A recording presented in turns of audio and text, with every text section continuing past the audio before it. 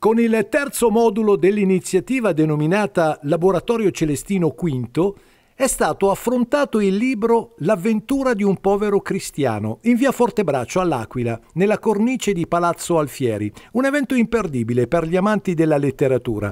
In programma una riflessione ad alta voce del giornalista Angelo De Nicola sul libro di Ignazio Silone, con un riferimento del giornalista, studioso e critico letterario Goffredo Palmerini, legato alla moderna perdonanza celestiniana. Io sono stato chiamato ad aprire, ad aprire questa terza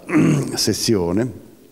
raccontando come rinacque la perdonanza celestiniana nel 1983. Per la verità ho parlato anche degli anni precedenti quando Padre Quirino cominciò la rivalutazione del, del, giubileo aquilano e quindi la, sulla illuminazione ulteriore di Celestino V e quindi ho raccontato eh, quel 1983 e poi anni a seguire che poi hanno costituito uno del, degli eventi più importanti della rinascita eh, spirituale, culturale, eh, più eh, ancora come memoria collettiva degli aquilani, proprio con la perdonanza che poi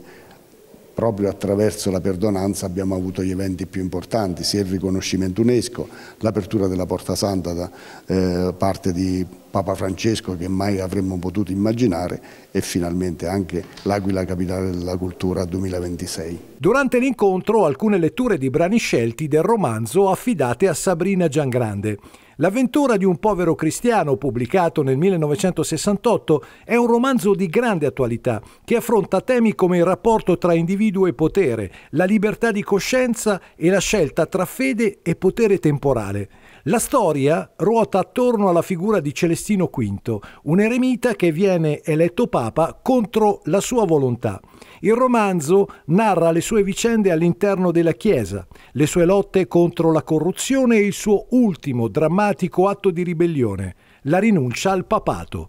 L'incontro per il terzo modulo dell'iniziativa del Laboratorio Celestino V è stata quindi un'occasione per approfondire la conoscenza di questo romanzo fondamentale della letteratura italiana in un contesto suggestivo e stimolante come Palazzo Alfieri, che ospita l'Istituto delle Suore Micarelli all'Aquila.